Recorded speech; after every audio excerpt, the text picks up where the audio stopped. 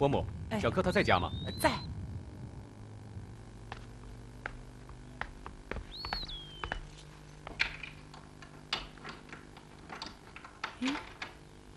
哎，小柯，小柯，你锁门干什么呀？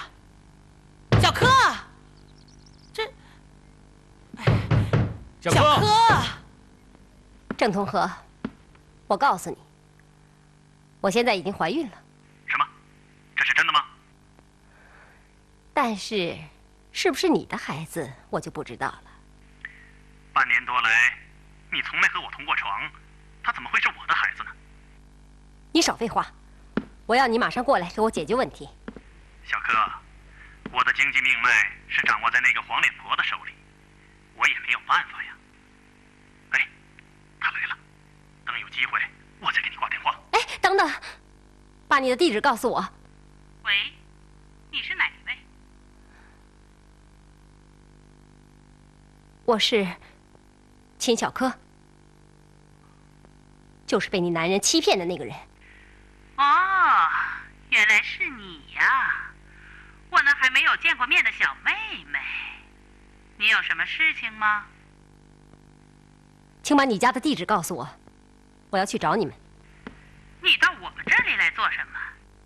解决我和郑同和之间的问题。老郑和你之间存在什么问题吗？我感觉你们还是相处的很好的嘛。我对你们是很宽容的。你们既然已经有了这层关系，只要你将来不和我计较名分的问题，我想我也不会去计较什么的。你不计较，可是我要计较。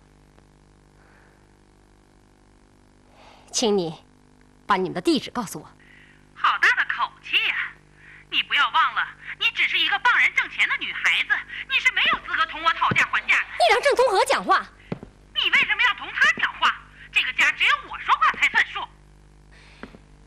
你们这一对肮脏夫妻，我告诉你，也请你转告郑同和，我秦小柯，从现在起，不会再任由你们欺负了。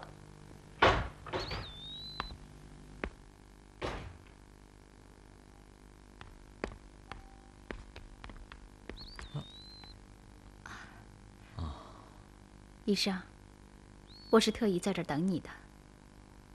走吧。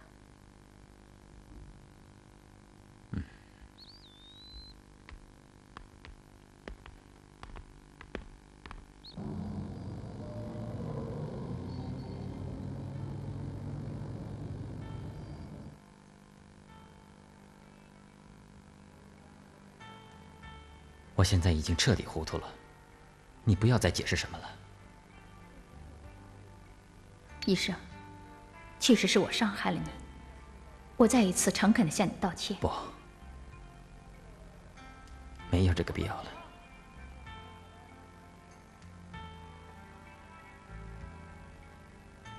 我们还能像好朋友、好搭档一样相处吗？我需要你的帮助。好了。只要我的希望不破灭，哎，别！你不要再抱任何幻想了，那样我会感到愧对你的。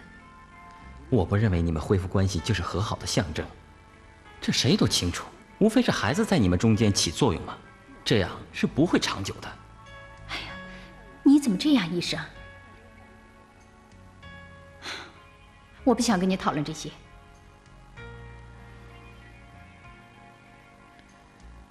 只是因为孩子的哭闹，他就能善待你吗？我不相信。真的，医生，昨天我们谈了很多很多，感情上确实已经有了新的沟通。他和我都认识到了，过去反复闹离婚确实有游戏的成分。那天，我主动答应你，那完完全全是一时冲动之下的轻率举动。不管是出于什么考虑。总之是我欺骗了你，也对不起郝建强。我不会原谅自己的。乔乔，你说的不是真话，我不会放弃的。医生，你还让我怎么跟你说呢？真的，像你这样的人，一定会得到更理想的爱情。我再说一遍，我不会放弃的，这是我的权利。哎，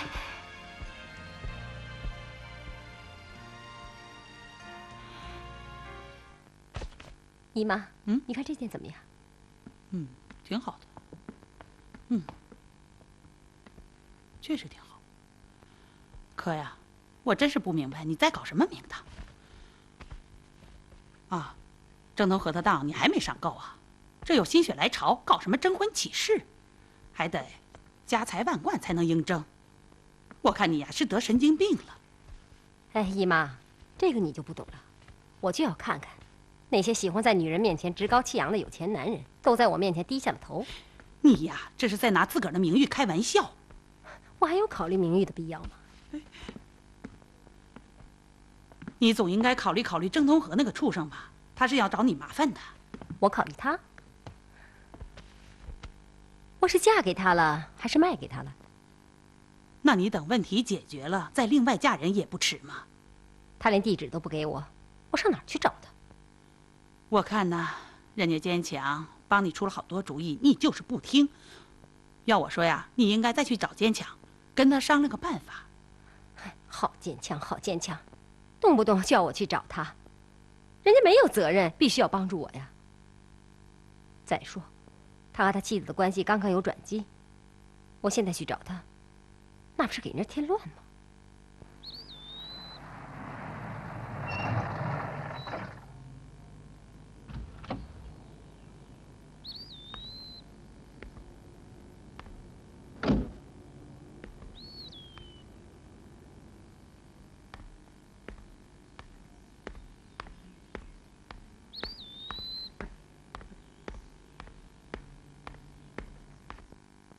不管怎么说，你呀都应该去找找他。嗨，你这也应该，那也应该，你就不想一想，从姚思平开始，有哪个男人不是在耍弄我的？我就不能耍弄他们吗？我就是要这样做。我呀也弄不懂你那些顾虑了，你呀自个儿看着办吧，我可管不了你了。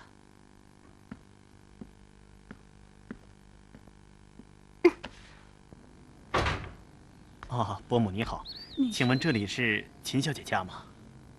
呃，是是秦小柯家，你哦是？我叫鲁英杰，是来应婚的。哦，我是秦小柯的姨妈。哦，您请进。啊，谢谢。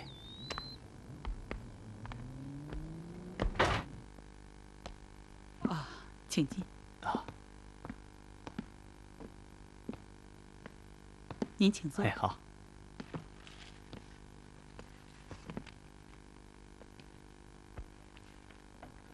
请喝茶。好，谢谢。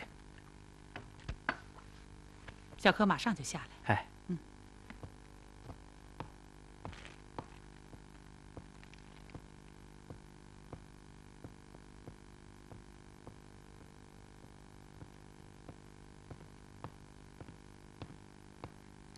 哦，啊你好，你好，请坐吧。呃，你也坐。我叫，呃，我叫鲁英杰，鲁智深的鲁，英雄的英，豪杰的杰。不成敬意，秦小姐。谢谢。比起秦小姐这儿的花，我这个有点拿不出手啊。没关系，鲁先生，你是看到了那份征婚启事以后，啊，是的，我对秦小姐开明的态度和前卫意识表示钦佩。哦，按照秦小姐征婚启事上所提出的要求啊，我把这些资料都带来了，这是房契，还有银行存折。对不起，陆先生，您不觉得当初这种标新立异征婚启事的女人，她对待婚姻的态度，是不是不够严肃？这不存在态度严肃不严肃的问题啊。我甚至觉得这种标新立异的做法，倒有很多地方值得称道。就像两个人谈生意一样，双方都愿意把自己的目的说出来，这样呢，感情也比较容易沟通。那么坐下来谈具体事情的时候啊，双方也就可以开诚布公的谈了，是不是？对不起，鲁先生。您认为我们今天的见面是一种交易的开始吗？哦，是这样。你可以到婚姻介绍所去看一看。那些在电脑上登记表格的人填写的最明晰的就是征婚条件，绝没有任何一个人会把他内心的真实愿望露天掉。你很直率，卢先生，我非常愿意和你这样的人交谈。其实，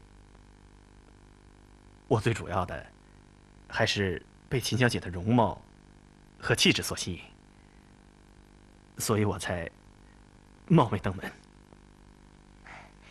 这样看来，鲁先生对我这个人的第一印象还是不错的喽。气质是不错呀，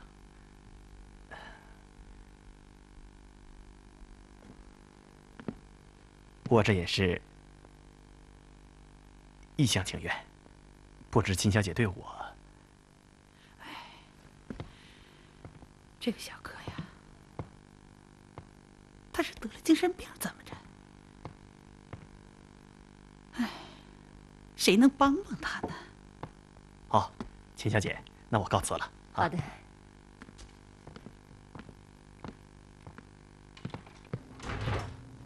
啊，秦小姐，请回吧。考虑好了，别忘了给我打电话，我等你消息啊。好的，再见。好，好。啊，秦小姐。哦。啊，你好。请进吧。好。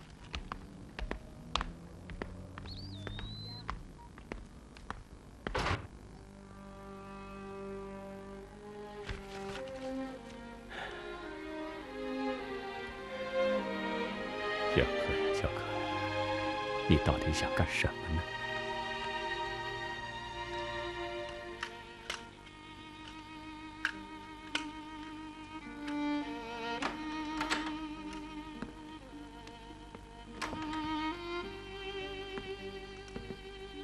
妈妈，哎，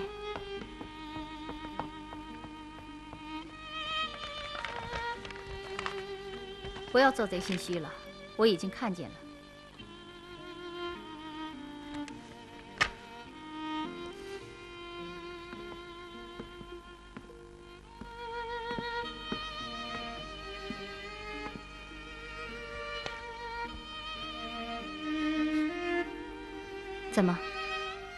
还在惦记着小琴的事啊？我觉得，他这种病态表现，如果不及时纠正的话，可能会……不用解释了，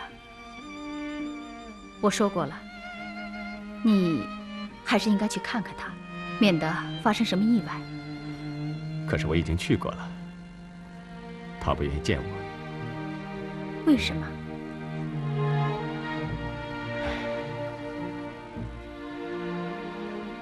你呀，应该再去。今天是他正式的征婚日，不要让他一时冲动，把事儿闹大了。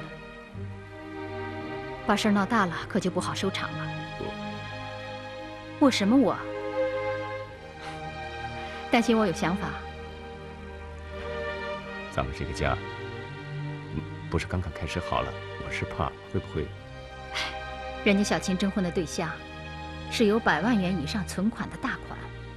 要有私人企业、私人轿车和私有住房。你不想想，你郝建强能占哪一条？你呀，充其量也就是个见义勇为者。我不是怕你多心吗？我干嘛要多心？去吧。那我去了。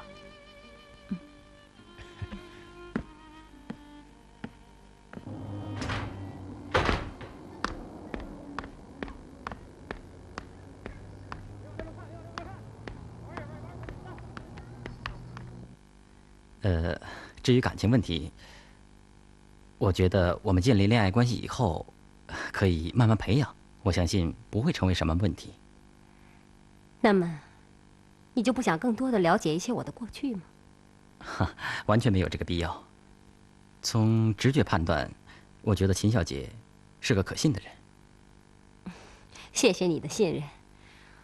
不过我还是不明白，既然你来应婚，你为什么就不想了解我的过去呢？哈，秦小姐，这不必生疑。平心而论嘛，我弃文经商这么多年，虽然也有不少追求我的女孩子，但我从未动过心的。原因不外乎他们过于肤浅，看重的只是我的钱财。可是今天一见面，秦小姐，无论从内在的素质到外在的气质，都不能不使我心动。秦小姐，如果我能把心掏出来给你看看，我相信，啊不，我坚信，你会看到一颗赤诚的红心在跳动。啊，你千万不要这样。秦小姐，你啊不，没什么。既然你那么厌恶金钱，难道你就没有感觉到我在征婚启事中提出的条件，其实也很有铜臭味儿嘛，这。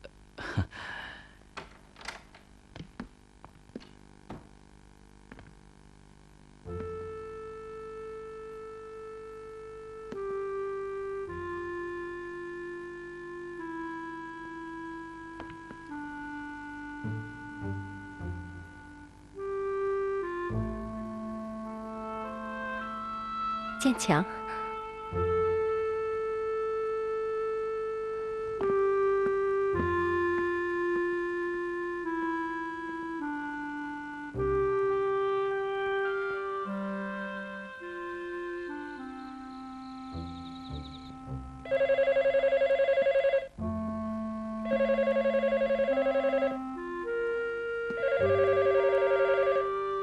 我当初以心相许的那些男人。哪一个又不是在戏弄我？姚思平这个伪君子，在我最痛苦、最无依无靠的时候，把我推入了深渊。郑通和这个禽兽不如的，我可以告诉你，这次征婚，我确实是在戏弄那些男人。我就是想切身的感受感受戏弄人的感觉。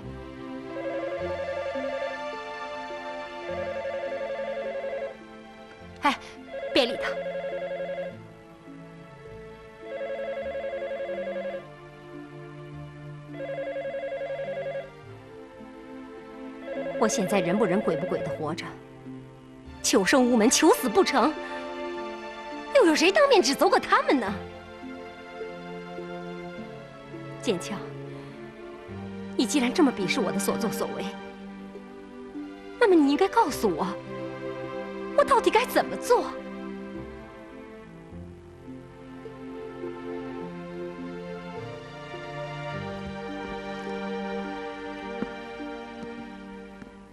尽管姚思平、郑同和他们是些不够资格做人的男人，可你也不能把对他们的怨恨发泄在那些无辜的男人身上啊！可能他们敢于应婚，是因为自身的钱财作怪，或者他们应婚的目的不纯。可他们并没有伤害过你呀。其实啊。你这样欺骗人，是一件很不道德的事情。难道这就是你要对我说的？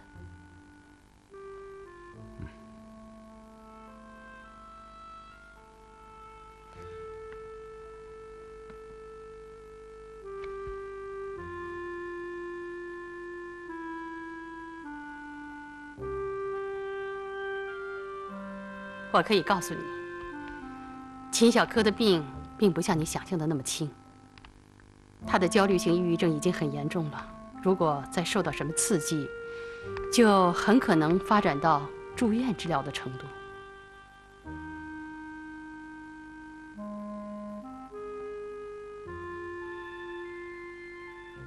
建强，你在想什么？啊不，呃，没想什么。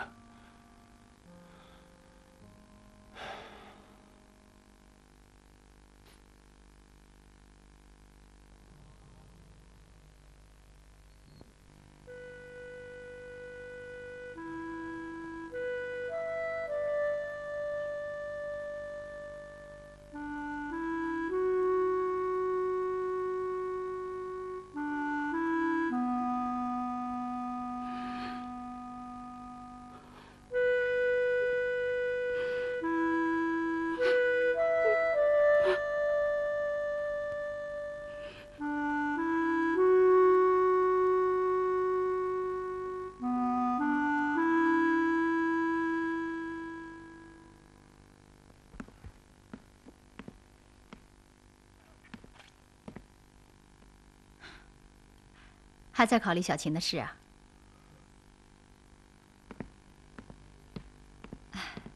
哎，走吧，陪陪我，你也好散散心。俏俏，我不适合那种场合。哎呀，你现在也是生意人了，就是不适应，也应该去锻炼锻炼吧。再说，我把罗罗放在我妈那儿了，你一个人在家。我说你别总把自己的意志强加于人，好不好？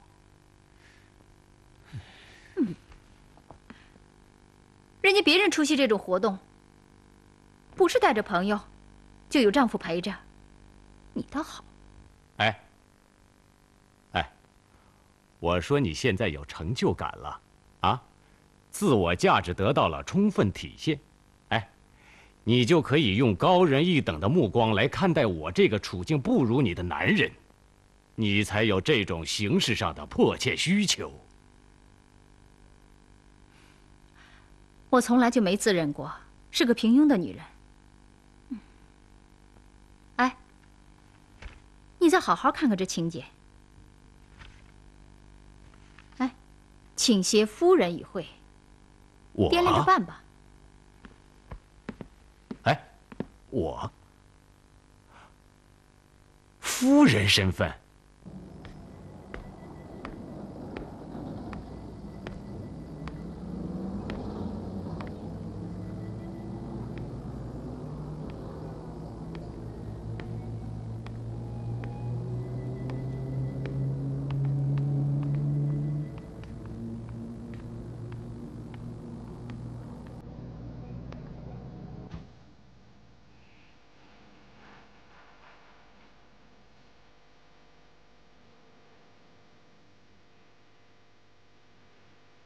发现你呀，越来越男性化。从哪儿说起呀？嗯，不仅是为人处事，那，你不就是个同性恋了吗？你看，连你的舞步都是男人的。就是你嘛，总要让人家带着走。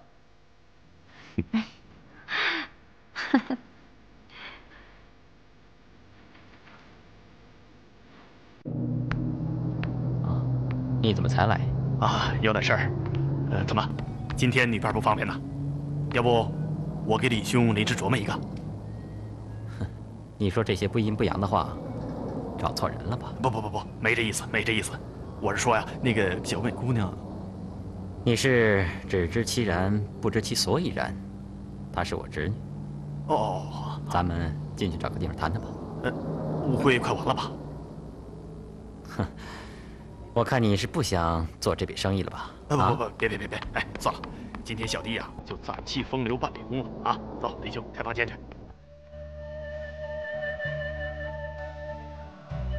哎，来，把酒喝了。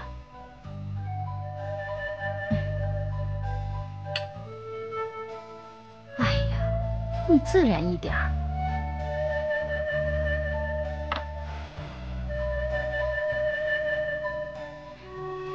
哎，你振作起来好吗？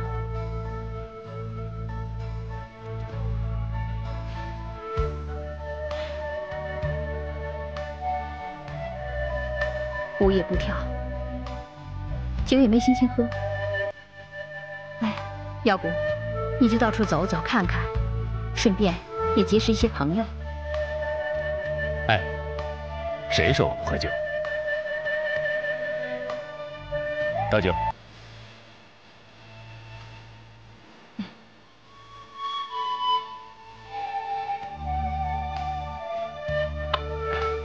哎，还喝呀？你别忘了，你是来参加舞会酒会的。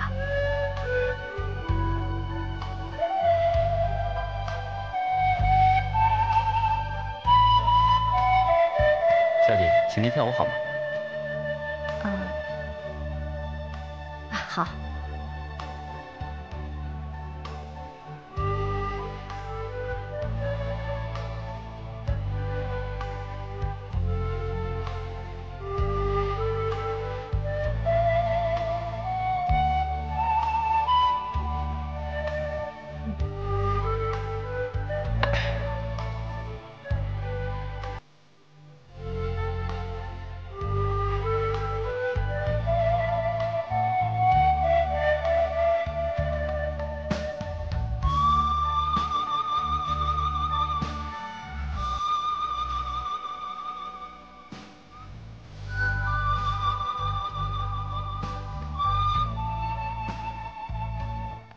这件事儿就这么定了。哎哎，工程由你承包三分之二，嗯，管理费嘛，还按老规矩。哎，这没问题。呃，保证金保到哪儿啊？楼宇公司账号。哦，哎，这次怎么到那个？你可别跟我使花花肠子。我这次可是竭尽全力辅佐我的老板。你要是坏了我的事儿，今后就别想在我这儿吃到一杯羹，知道吗？那是，那是，那是。过来。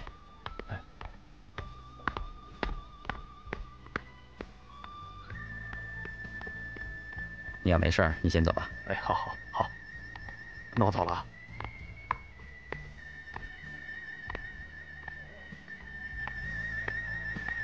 啊，你怎么才来？啊，我正好碰见一个朋友，顺便和他谈了一个分包工程，你要不要听听汇报？不用了，你上，我们跳舞去吧。好。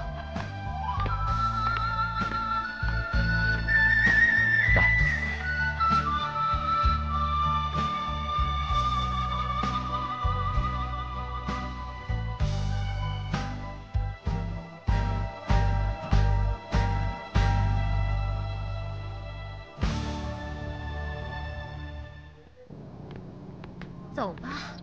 哎呀，你放开手，让人家看见像什么样子？怕什么？我又没拉别人家的男人。哎呀，我说这大星期天的，你这是上哪儿去啊？说实话，我真没兴致再陪你去参加那些应酬活动了。你就别问了，你就快跟我一起走吧。哎，我说你现在怎么变得事事都喜欢强加于人呢？是吗？我可没有这种感觉。哼，但愿这世上成功的女人，哼，千万别像你这个样子。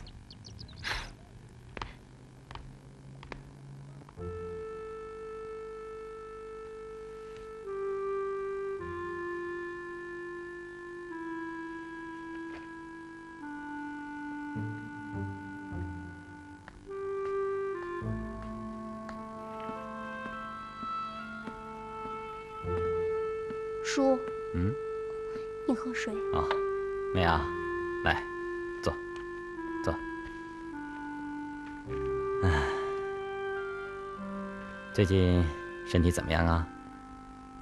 我最近挺好的。哦，那就好。哎，想不想出国旅游啊？啊？到东南亚去转一转。叔，你带我去啊？你跟我去有什么意思啊？等过两天呢，我给你联系一个豪华旅游团。你呀，和你的朋友一块出去转一转啊。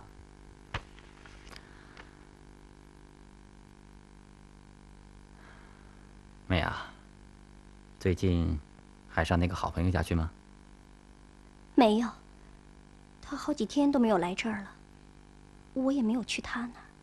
哼，我说的不是他，我说的是啊，咱们家那个邻居。哦，你说的是秦家呀？嗯。他那儿我倒偶尔去坐一坐，只是偶尔。你们俩的关系怎么样啊？嗯，挺挺好的。嗯。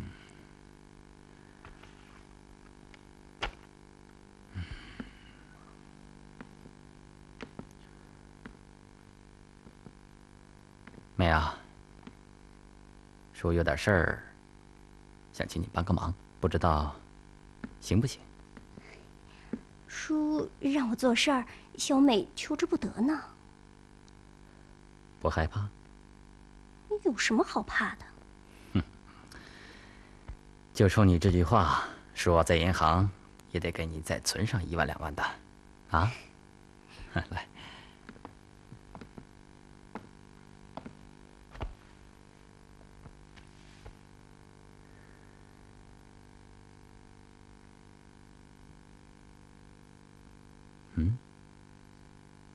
药啊！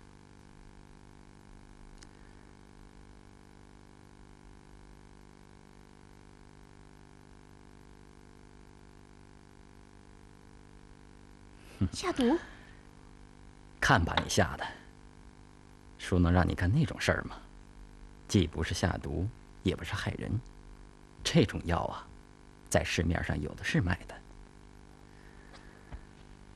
嗯，叔啊。是想拿这个东西开个小小的玩笑。叔，不，我我我不敢。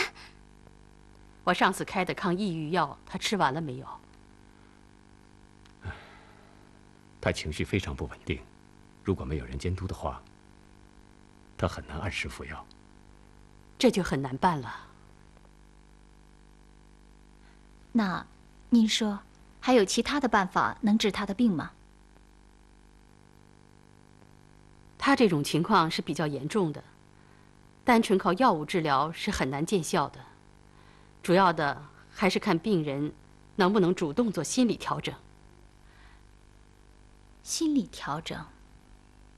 心理疾病的治疗，药物和医生都只是个辅助作用，主要是靠患者的积极配合。按着你们说的情况，患者所处的生活环境十分不利于他的身心健康的恢复。我看，如果他的病情再这样发展下去的话，很难排除精神上出现大问题的可能。那，您的意思，他就没救了？哎，我前一次已经和你丈夫谈过了。这类患者最需要的就是生活和精神上无微不至的关怀。当然了，当时啊，我还不清楚你们两个人之间的关系。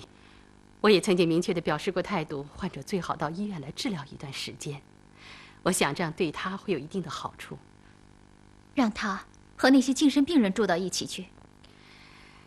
你不要把精神病人都理解成疯狂类型的，这其中有明显的区分呢。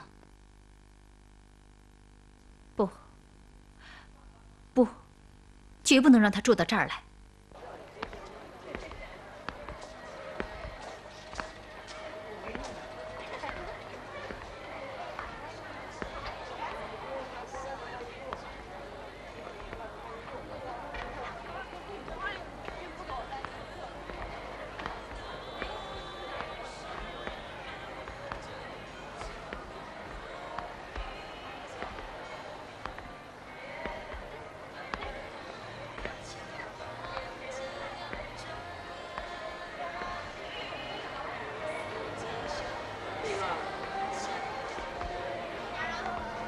拿这个给我看看，小姐。这个吗？对。嗯。嗯，就要这个。嗯。谢谢。多少钱呢？三百八。哦。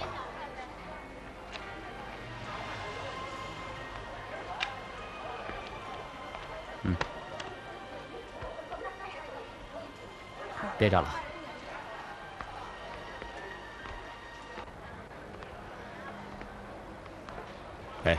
行了吧？你又不是初次去他家，干嘛买这么多东西？哎，正因为不是第一次去他家，所以啊，我得挑点合适的礼物送给他，不能让人家觉得我们寒酸嘛。我说的没错吧？一个人一旦要是有了自己的地位，你就往往喜欢事事强加于人。哎，你什么意思嘛？那。咱们把东西都退了吧。哎，别别别别别，快走，让人家看见多不好。以后我再也不管你的事。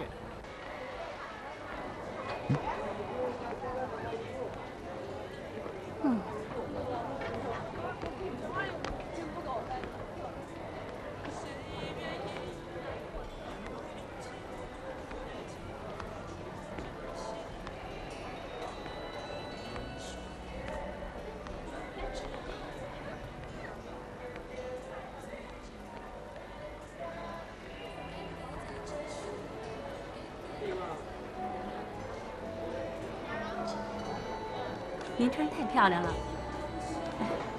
像给您定做的一样。嗯，想要吗？来，我看看。多少钱？两千二，哦，两千二，对，打折后的价。好。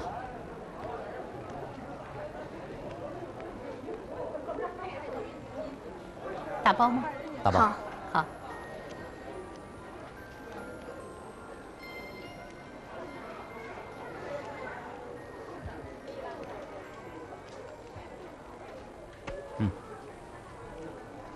欢迎再来，欢迎再来。好。好。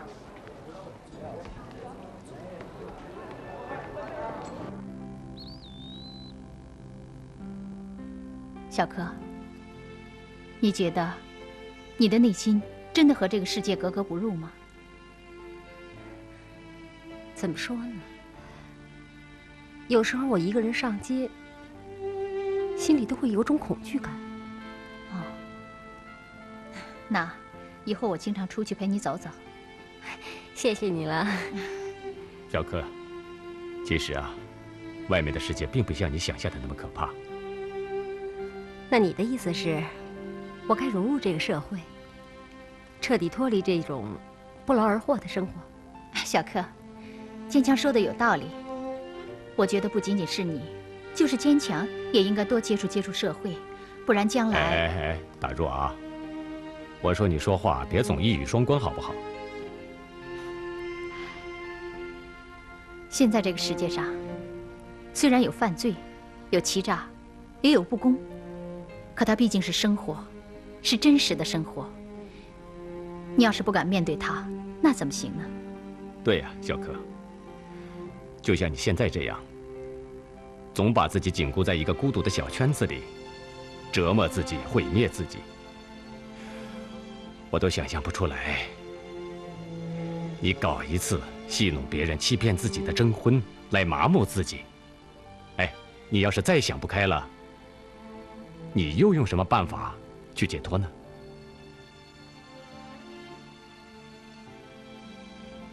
其实啊。想结婚，谁也阻拦不了你，包括他郑同和在内。即便他有手眼通天的本事，朗朗晴空下，我就不相信他能够左右你的人生。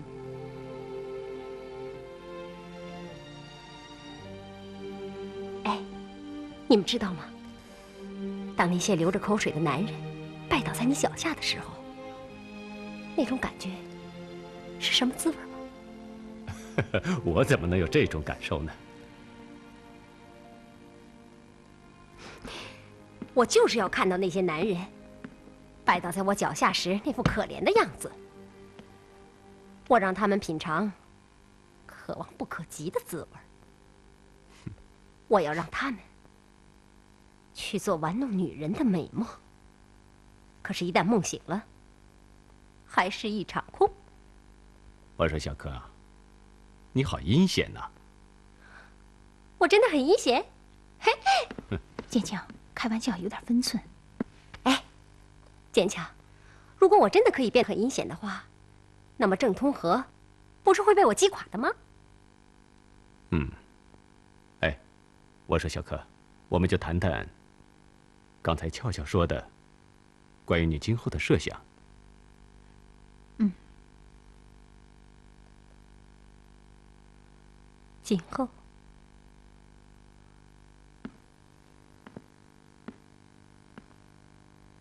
我还有今后吗？小柯，你这又是？没什么，我没什么。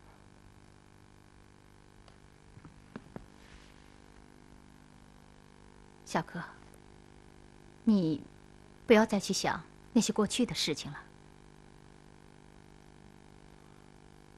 我说小柯，你要是把我和俏俏当朋友的话，你就要听话，好吗？坚强，你以前给我读的那些小说，我都录下来了。真的？嗯。哦，嗨，其实没有必要。呃，俏俏刚才已经说过了，让我以后啊多来给你读小说。有时候我的心情不好，就把磁带拿出来听，这样我的心情就能变好了。哎，哎，我放给你们听啊。